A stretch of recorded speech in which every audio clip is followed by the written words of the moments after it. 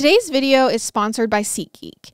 With over 28 million downloads, SeatGeek is the number one rated ticketing app. So actually, Payton and I was this last year?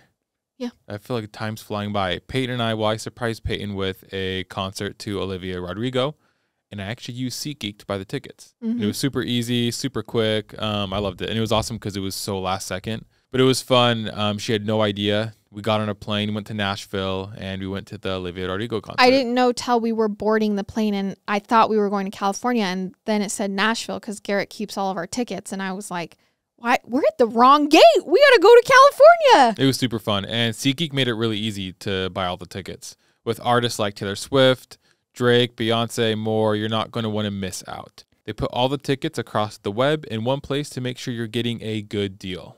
Every ticket is backed by their buyer guarantee, and SeatGeek is the only site that lets you return your tickets ahead of the event with swaps. And you know, we came through for you guys. Use our code HUSBAND for $20 off tickets at SeatGeek. That's $20 off your first purchase with promo code HUSBAND. Make sure you click the link in the description below to download the app and use code HUSBAND. Hey, everybody, welcome back to our podcast. This is Murder with My Husband. I'm Payton Moreland, And I'm Garrett Moreland. and he's the And husband. I'm the husband. I just had a moment of like weird as I was saying that intro, right. thinking back to the very first episode we recorded on the floor in the middle of COVID. Our iPhone, our Apple mics, Mhm. headphones, using our mics, we sat like 10 feet away from each other because we both felt so awkward and uncomfortable. And we didn't really want to look at each other. Yeah. And then we deleted it. Oh my gosh, that was Yeah. weird. Yeah, that was rough. Dude, but now who would have thought? We had no idea what we were doing. no idea. Didn't you use you used Apple headphones and then I didn't have headphones, so I talked into my iPhone, right? Oh, yeah. But we deleted the episode, obviously. Do you know where it is? Do you have that episode somewhere? I think it's on an old computer. How was I supposed to know that so many people would eventually want to hear that first episode? Oh, there's no way I could listen to it. Oh, you guys, it. was so bad. Yeah. Even our first couple, like not couple, like our first good chunk Mhm. are a little Yeah, you're just learning. We had no idea what we were doing. I think it's I mean Uh, we still st- we still don't know what we're doing. It's crazy. I don't know. Just thank you everyone for listening. Thank you for being here. That was a really just cool feeling for me for just a moment there. Also, if anyone is a new listener, hi, welcome to our corner of the internet and the podcast world. We're so happy to have you here and we're going to jump into 10 seconds. But first, I wanted to remind you that Garrett really knows nothing about these episodes before we get into it. He comes in here completely blind, just as the listener does. And also, he really does hate true crime. Okay, Garrett, go ahead for your 10 seconds. I got some new golf clubs. Excited. Hopefully, spending money on golf clubs makes me better somehow. So I did get some new golf clubs. Payton's pretty excited about that too. I don't care. Um, no, it was fun. I went the other day and I really liked them, so that was that was really cool. I'm gonna try to go at least twice a week, Yeah. and yeah, we'll see what happens. Maybe you'll see me in the PGA one day. Oh my god! You never know. You never know. Anything's possible. Look at the podcast. In front of our house, we had a car that had been sitting there. It was our car for like three weeks because it broke. Mm. So just been sitting there, and I finally got everything together. Called a tow truck, got it called to service. So kind of excited to get our car back. yeah. Productive week. Yeah, it actually was. We cleaned the house yesterday. Yeah, we did a lot. I mean, I know it doesn't sound like a lot, but there was a lot in between all that. Yeah. And last but not least, I'm not wearing a hat today. So if you were watching on YouTube, I'm not wearing a hat. Thought I'd throw that out there because I, I'd probably say that in 93% of our episodes I have a hat on. Probably. So when I don't and I look in the camera, it's kind of strange. All right, let's get into our case. Our sources are Where the Bodies Are Buried, Murderpedia, Wikipedia, WTHR.com, Ancestry.com. What happens to a person when that person becomes a missing person? People go missing for a variety of reasons, but for the missing who are never found, we mostly don't know what those reasons are. Some of these are people whose fates are a total mystery, where even the circumstances around their disappearances are unknown. They could be runaways, homicide victims, suicide victims, car accident victims whose wreckage and bodies was never found, maybe submerged underwater, or people who've fallen down abandoned mine shafts. The list of possibilities is bigger than you might think, but for a lot of those missing, their fates were the ugliest imaginable. A lot of them were homicide victims, and their bodies could be anywhere, maybe even buried on private property, in which case their bones may remain undiscovered indefinitely. In today's story, we begin with a missing person case, and we'll see how a collaborative investigation effort between law enforcement, a private detective, and citizen sleuths led to a discovery that may otherwise have remained off the radar. When Virgil Vandagriff was in his early 20s, he was like many young men his age in the 1960s. He was trying to find himself. As the culture in the United States was rapidly changing from the Kennedy assassination through the beginning of the Vietnam War, Virgil tried his hand at numerous careers, including working as an auto mechanic at a gas station and going door to door selling Fuller Brush. Holy, what did you even say? And going door to door selling products. Then in 1965, when he was 22, Virgil decided to become a law enforcement officer. He was hired as a sheriff's deputy for Marion County, Indiana, quickly rising the ranks to become a detective and eventually a sergeant. During his decades long career with the Marion County Sheriff's Department, Virgil was a natural leader. He single handedly brought the practice of forensic hypnosis to the department in 1976, becoming known around the area as the Mind Detective. By the time he retired in the late 1980s, he had used hypnosis in over 3,000 cases. And when he retired, he wasn't about to rest on his laurels. He had a successful private investigation firm he'd founded in the late 1970s, Virgil L. Vandagriff and Associates. It was based in Indianapolis, operating out of a converted brick house down by the airport. Now in his 50s, with a head of white hair and a bushy white mustache, Virgil was like many private investigators in that much of his caseload was tracking down bail jumpers, sussing out embezzlers and drug users in workplaces, and locating missing children. But every now and again, a more challenging case would land on his desk, like in the summer of 1994, when a woman named Mary Beasley opened the yellow pages looking for a private detective. Her finger landed on Virgil Vandagriff's office. Mary met with the private detective and told him her story the story of the disappearance of her 28 year old son, Alan Broussard, who had been missing since early June. I'm not sure what my thoughts are exactly on, you know, hypnosis and and all of that, especially because it makes me think of the case we did where the guy had a dream. Oh, yeah. And uh wait, he had a dream that who the killer was, correct? He dreamt the murder. He dreamt the murder. Yep, that's what it was. So I don't know. It's like I want to say that this stuff isn't real, but then you have these cases like that mm-hmm. where I'm just like, what? Yeah. Anyways, let us know if you are 100% for hypnosis and. Have you ever been hypnotized? No, never. Have you? I feel like we've talked about this. We have. We talked about it before. I think we talked about it in that episode. Okay. Yeah. Yeah. Because I mean, he saw a murder, and I was Yeah. just like, what? Yeah. But I didn't. I'm. I'm not knocking anything. I'm open to it all. Okay, so Alan was last seen coming out of a gay bar in downtown Indianapolis, and no one had heard from him since. Alan worked as a nurse's assistant at an AIDS hospital. This was at a time in the early to mid 90s when the AIDS epidemic was taking its heaviest toll. The drugs that have made it possible for HIV positive people to live a normal lifespan wouldn't be introduced until 1996, after which point the number of AIDS related deaths annually began steeply declining. But in 1994, people in the gay community were watching their friends drop like flies, and it hit the survivors hard. People like Alan, whose life was reckless and manic. But Alan still always found time to call his mother. So when the calls stopped coming and she found out that none of his friends had heard from him either, she feared the worst. She contacted the Indianapolis police, but it felt to her like they had bigger fish and gave Mary Beasley the cold shoulder. Out of frustration, she consulted a psychic and then hired another private detective before finally landing at Virgil Vandagriff. She explained to Virgil that she had already lost another of her three sons just earlier that same year in a car accident, and she just couldn't stand any more tragedy and heartache in her life. Now, Virgil had worked in law enforcement and investigations for nearly 30 years by this point in his life. He had good intuition and was skilled at picking up on nuances and unspoken information. And he sensed that there was a lot Mary wasn't sharing about her son. Like, she seemed uncomfortable talking about Alan's alcoholism, about his two drunk driving arrests. And there were corners of Alan's life that Virgil sensed Mary just didn't want to venture into. So he respected this and he didn't press. After all, he figured he could just obtain that information from Alan's social circle, which had more direct access to these parts of Alan's life than his mother did anyway. For the time being, Virgil agreed to print up missing person posters with Alan's picture on them and distribute them around town. But they didn't generate any leads.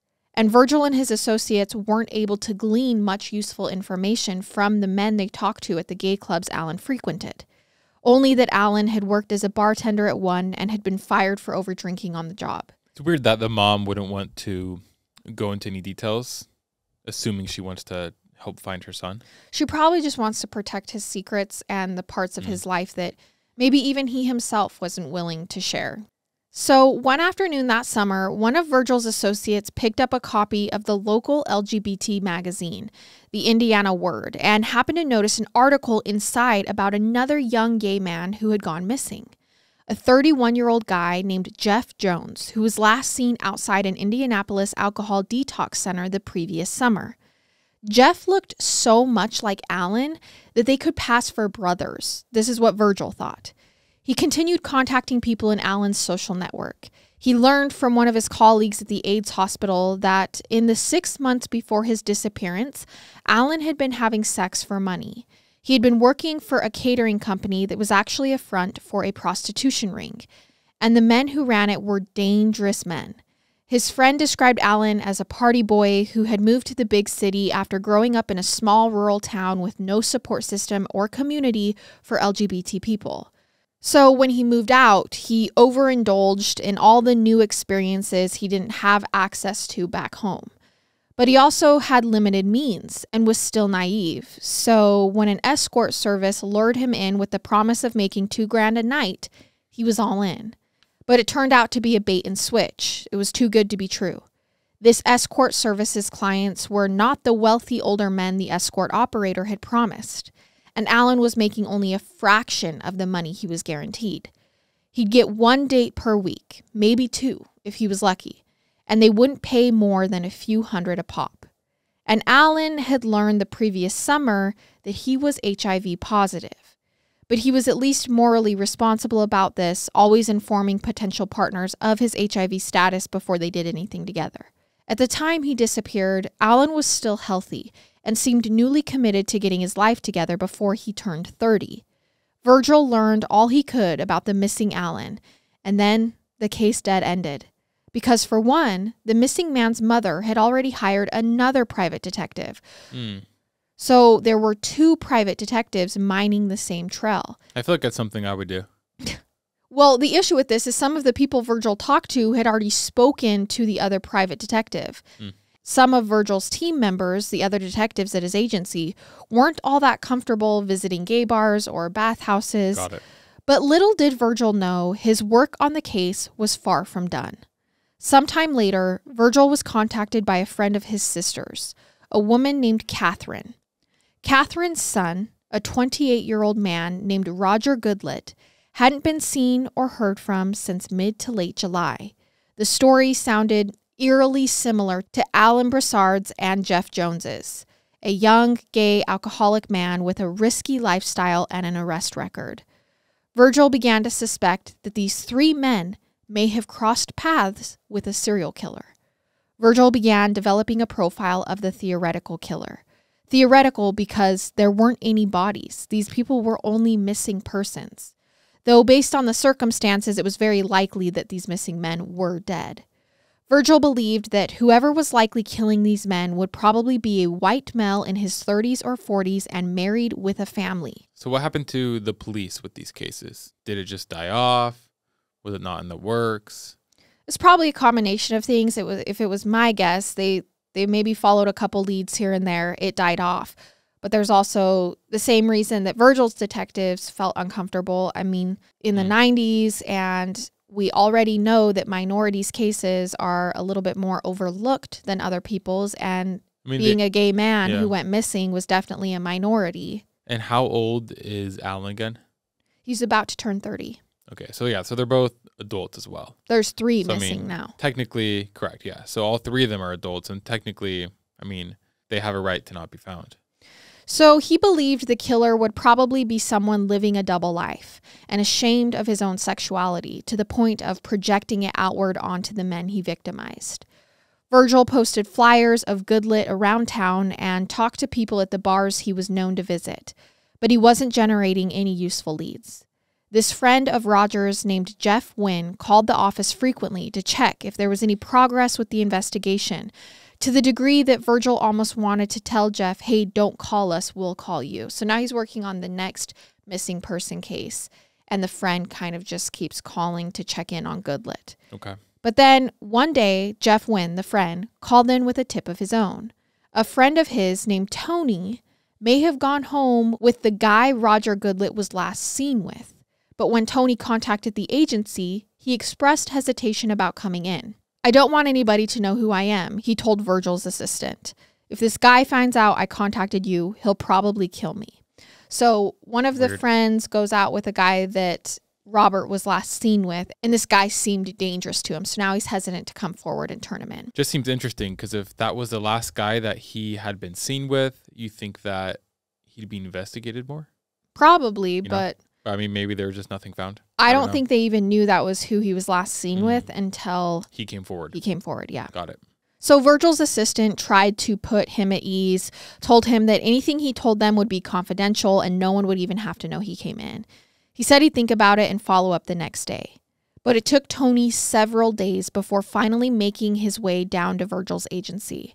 When he walked in, the young man was visibly nervous and uneasy. The assistant tried to make Tony feel at home. She brought him coffee and an ashtray so he could smoke while he waited for Virgil. Once he was in front of the detective, the detective asked if he minded if the conversation were recorded. Tony made it clear that he didn't care so long the man he had information about didn't find out. He's a psycho, Tony said. He'll kill me.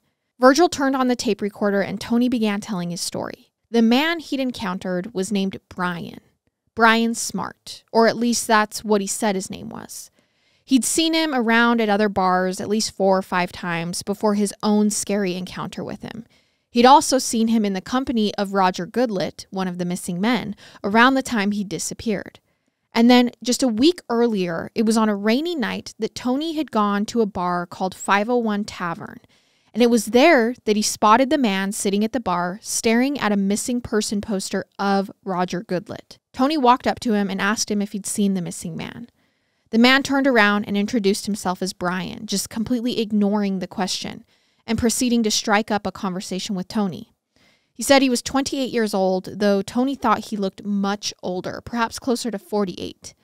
The man explained that he was a landscaper from Dayton, Ohio. He was in town house sitting at a mansion in Carmel, he said. That's a suburb that's just outside of Indianapolis. Normally, he lived with his parents, the man explained, but he had access for a whole week to this mansion with an indoor swimming pool. Okay. Yeah. The owner hadn't yet moved in and he had the place all to himself.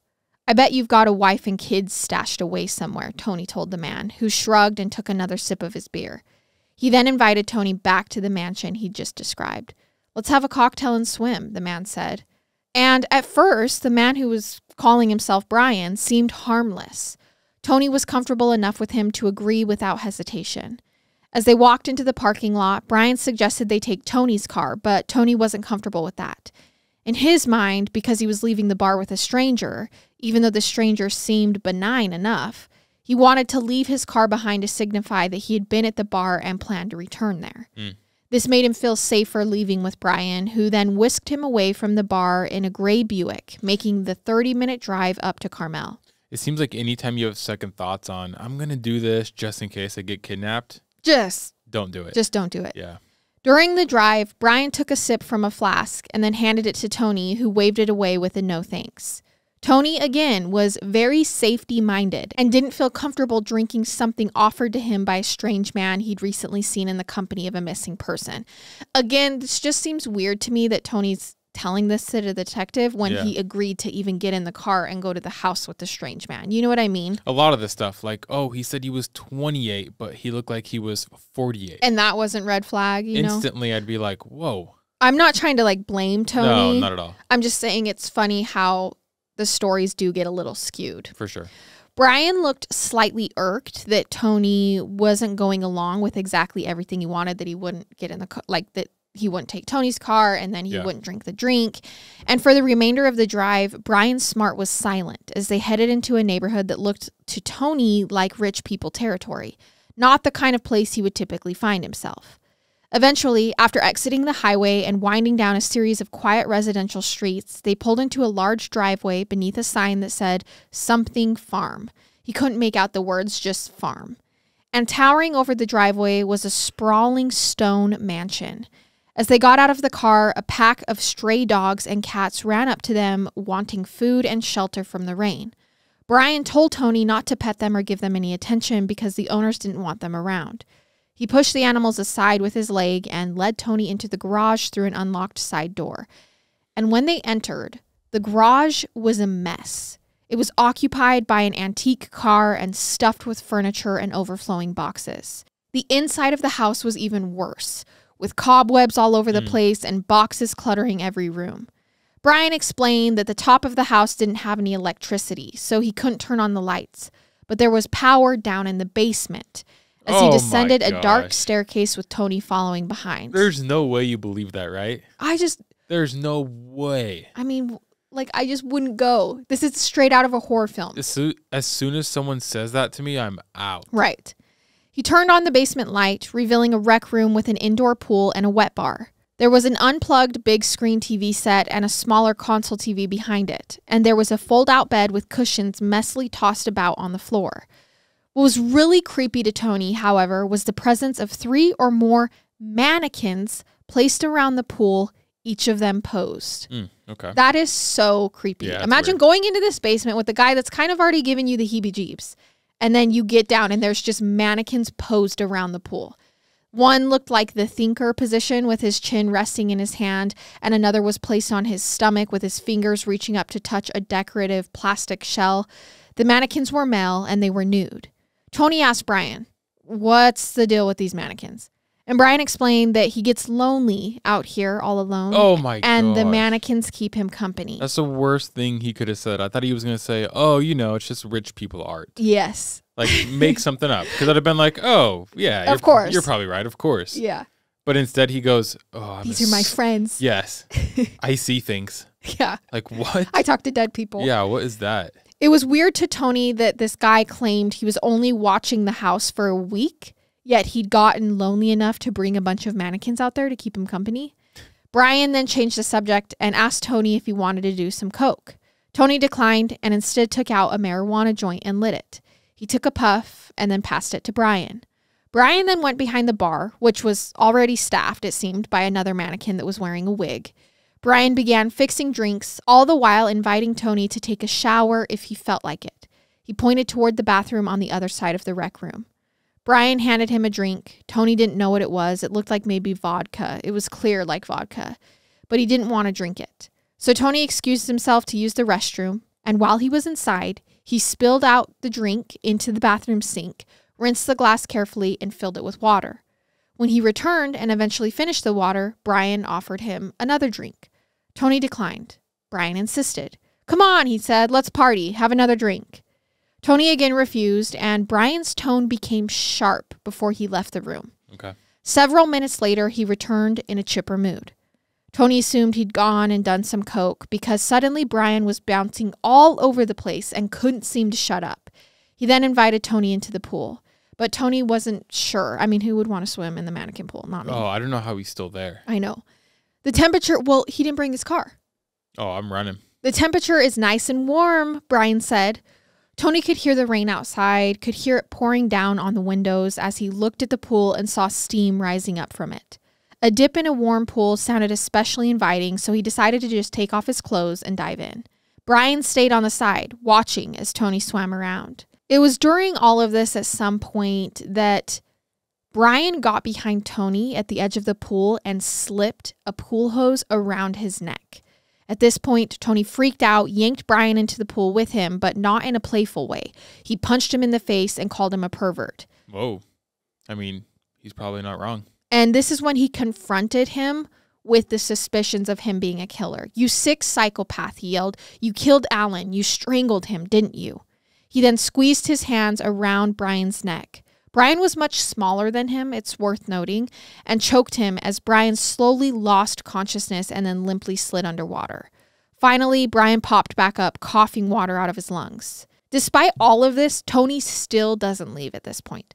So we have to keep in mind that this is the story that Tony's telling police. Yeah. Um so like I personally think if you just confronted someone with being a killer, you would probably then get up and leave, Leave? the house, Uh-huh. but they don't.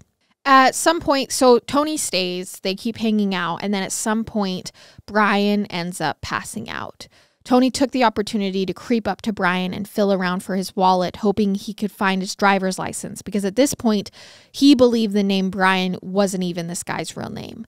But just as he slipped the wallet out of the sleeping man's pocket, Brian began to move, and Tony immediately let it go and dropped it onto the floor.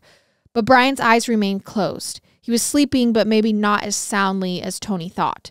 Tony tiptoed up the stairs and quietly searched the house for a phone until he found one and called his sister. He told her he was up in some creepy house in Carmel with a guy who was trying to strangle him. He wanted her to come rescue him. It's a mansion off 31, he told her. The guy is scary. He's not right. But they both realized these directions weren't specific enough for her to even find him. So Tony stayed. Early the next morning, just after dawn, Brian woke up and climbed back into his rumpled clothing from the night before, telling Tony he had some errands to run but feel free to go back to sleep or make himself at home. Brian eventually returned from running errands and offered to drive Tony back to his car at the 501 Tavern. The drive back was tense as Brian remained sullen and completely silent, but as they approached the bar, Brian thanked Tony for being a good sport and gave him his telephone number. Virgil eventually put Tony in touch with Detective Mary Wilson of the Indianapolis Police Department, and he shared the same story with her. He spoke to her for hours, also letting her know how the police and FBI had ignored him when he first came to them. He made a drawing of the property, the layout of the house, to the best of his recollection and gave it to her.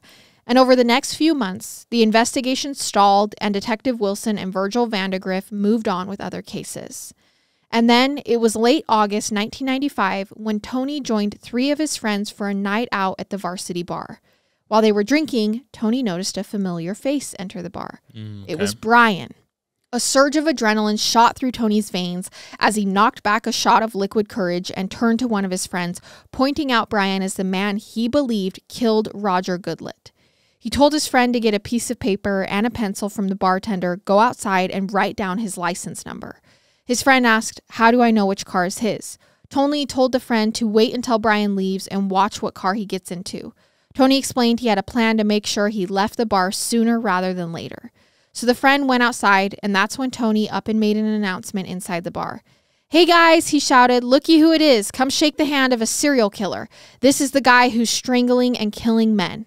He slapped Brian on the back and said, Come on, Brian, old sport, show him the choking trick you showed me. But Brian Oh, looked man. totally unfazed by all of this and just played along with it, demonstrating the choking. I'm getting like secondhand embarrassment, and you're just telling me a story. I know. Tony's friend waited outside and eventually Brian walked out.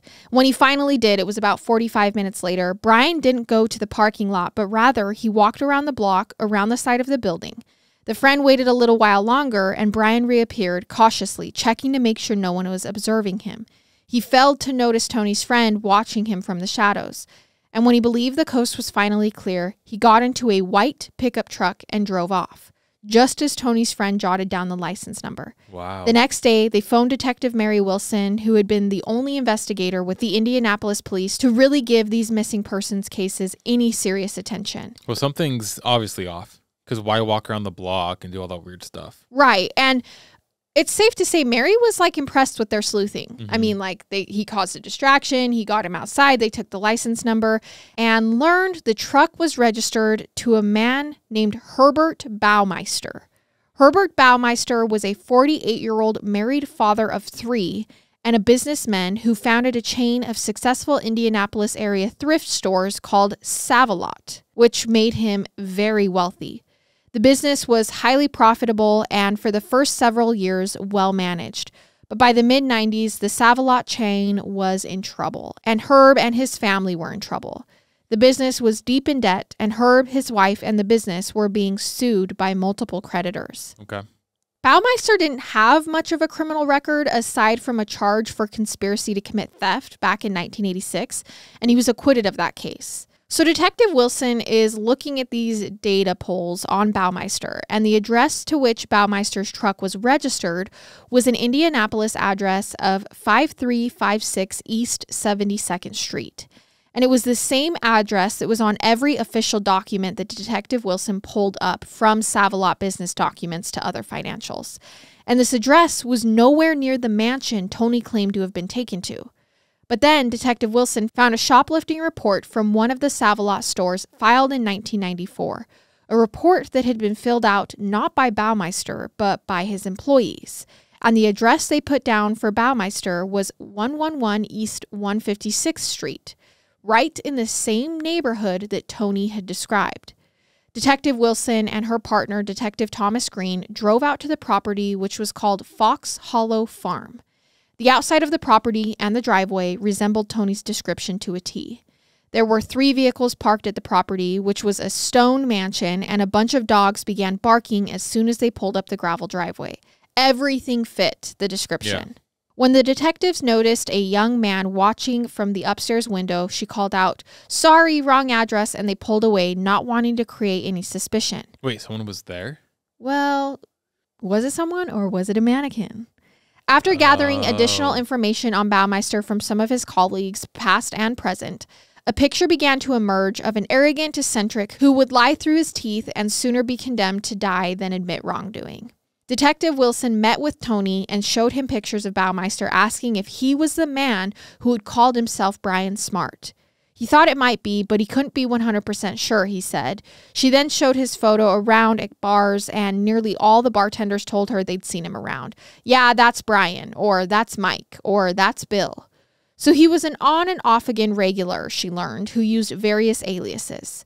It was becoming more and more likely that Baumeister was the man Tony had spent that scary night with, and was the man responsible for the disappearance of gay men around Indianapolis over the past two years. How do you prove that though? I mean, there's no bodies, there's no DNA anywhere.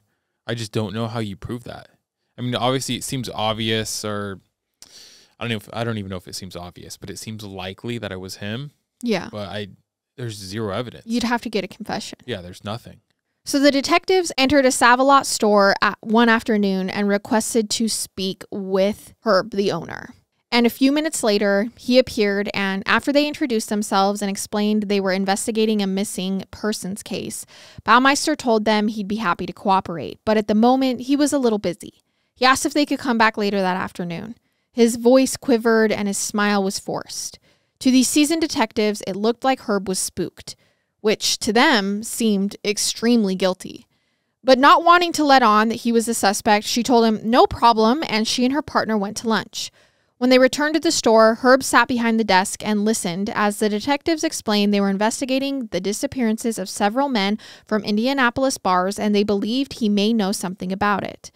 Herb Baumeister seemed offended when he told them he'd never been to a gay bar in his life. I'm not gay, so I don't really know why you've come to me, he said. Detective Wilson then let him know she meant business and wasn't there to play games. Herb, she said, we know you've been in the bars. We've got your license plate number from your car when it was parked outside of one. Which instantly red flags all over the place. Right. Herb tried to act casual, but the detectives could both see his face turning red and his breathing quietly heavy. Finally, he sighed and admitted, okay, fine, he'd been to the bars, but that his family doesn't know and he wanted to keep it that way. Detective Wilson told him she understood and would respect that, but she'd really like an opportunity to search his property at Fox Hollow. Would that be okay? Herb told her he'd like to cooperate, but it would be best if they talked to his attorney, at which point the detectives left. And also at that point, you tell the family everything. Yeah, yeah. At this point, Detective Wilson decided to try approaching Herb Baumeister's wife, Julie. So she went back to the Save-A-Lot store and found his wife working there, appearing overworked and stressed out. She explained that she was investigating a missing persons case and wanted to search her Carmel property. Julie Baumeister appeared shocked by this. And although Herb had warned her that a disgruntled ex employee had filed a theft complaint against them, it was a made up story to give false context to police interaction that he suspected was inevitable. But he had already advised his wife to refuse consenting to a property search if they asked, so she declined, explaining that this was all a misunderstanding and that an enemy was making false allegations about her husband. Detective Wilson made it clear mm, that's not the case. That's not what's happening here. We're investigating the disappearance of several men from gay bars in downtown Indianapolis, and her husband frequented these bars. And this information was even more stunning to Julie, who chose not to believe what they were telling her and asked them to leave the store. Which is so weird. If the cops came and told you something about me, would you believe them or no? Well, if they first came in and said, hey, we're investigating um, a serial killer that we think is murdering gay men and picking them up from gay bars, I would be like, well, I don't think my husband's gay, Yeah, I so I true. I think you have the wrong person. I just feel like if the police come to you, they obviously know what they're talking about. Right. Usually. Right. I mean, but what evidence can they show her? Yeah, it's true. At this point, Julie goes to her attorney and is like, hey, they're talking about Herb, but there's a part of me that wonders, you know, if maybe this is true. And the attorney decides to give Detective Mary Wilson a call about his conversation with Julie. He says, I wouldn't give up on this lead if I were you. The attorney then shared a bombshell piece of information.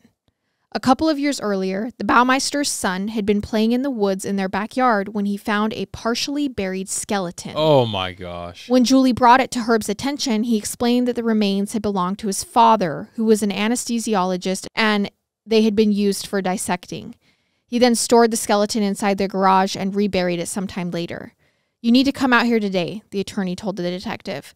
That's when a massive search effort was coordinated, and authorities from multiple agencies showed up at Fox Hollow because Julie was now like, Yeah, go ahead and search the property That's insane. in a collaborative effort to search the grounds. And within a short period of time, the searchers were suddenly finding bones, teeth, and bone fragments everywhere. By the end of the search, investigators had recovered the remains of at least 11 people, most of whom would later be identified by DNA as men who had gone missing between May 1993 and March 1995. Among those men were missing Jeff Jones, Alan Broussard, and Roger Goodlet. Also identified were 20 year old Johnny Bayer, 20 year old Richard Hamilton Jr., 31 year old Manuel Resendez, 28 year old Stephen Hill, and 45 year old Mike Kern. Just like that. Just like that. What? Two additional men who also went missing from Indianapolis gay bars around this period were 27 year old Alan Lee Livingston and 34 year old Jerry Williams Comer, but they weren't found. I wonder why he didn't try to kill Tony. Maybe it's because Tony was just way stronger than him. And I think that he was drugging them, but Tony dumped oh, the drink. Oh, that's right. Okay. Yeah. So Herb Baumeister didn't wait around to be arrested. As the arrest warrant was being filed, Baumeister suddenly disappeared. His whereabouts would remain unknown until two days later, on July 3rd, 1996, when his body was found on the shores of Lake Huron in Pinery Provincial, No way. yeah, in Ontario, Canada. Herb Baumeister had written a suicide note and left it in his parked car before walking down to the beach and firing a bullet into his head, ending his life. His suicide note admitted nothing and made no reference at all to the investigation or the dead bodies Oh found on the property. Like one of the biggest cop outs ever. I can't. That happens so much too. A serial killer, someone will go and kill a bunch of people. They then go and take their life. But in the suicide notes, they go, I don't know what you were talking about. Yeah, I'm innocent. Okay. Yeah. Yeah. obviously. So, one thing that authorities searched for after this was a massive collection of videotapes that his wife had told the search team he had kept in a closet. She's like, You need to look into these. Mm. She didn't know what was on them, but when she led police to the closet where she claimed they were kept, the shelves were all empty. Herb, it seemed, had taken those tapes before he'd left. But what he did to them, no one was ever able to determine. Those tapes were never found. And no one knows quite how many victims Herb Baumeister had really claimed. Many believe he was also the unidentified serial killer known as the I 70 Strangler, who is believed responsible for the murders of at least a dozen men ranging in age from 14 all the way up to 42. Wow. Men who, like many of the victims recovered from Baumeister's property, were known to frequent gay bars and or live vulnerable lifestyles. The I 70 Strangler's victims were all found dumped nude, many of them in streams or ditches. And those bodies stopped turning up in 1991, the same year that Herb Baumeister bought the Fox Hollow property and started burying his victims in the backyard. All of those victims were strangled to death. And that is the story of Brian Smart or Herb Baumeister. Well, it's like zero to 100. Mm-hmm. It was like backstory. It just got caught. It, He just got caught so fast. Good on the wife. I'm glad the wife called the attorney and they were to, and they were able to figure that out. Well, and also good on the attorney to be like, I'm going to save my client, Yeah. the wife, and I'm going to completely throw the husband underneath the bus. I would hope so. Yeah. yeah. And it it's an interesting theory to think that maybe he was the I-70 strangler and then once he bought that property and He's there. actually had somewhere to bury them, Yep. He started burying them on his property instead because all the I-70 stranglings stopped. Hundred percent. Oh yeah. I. It probably was him. All right, you guys, that is our case for this week and we will see you next time with another episode. I love it. And I hate it. Goodbye.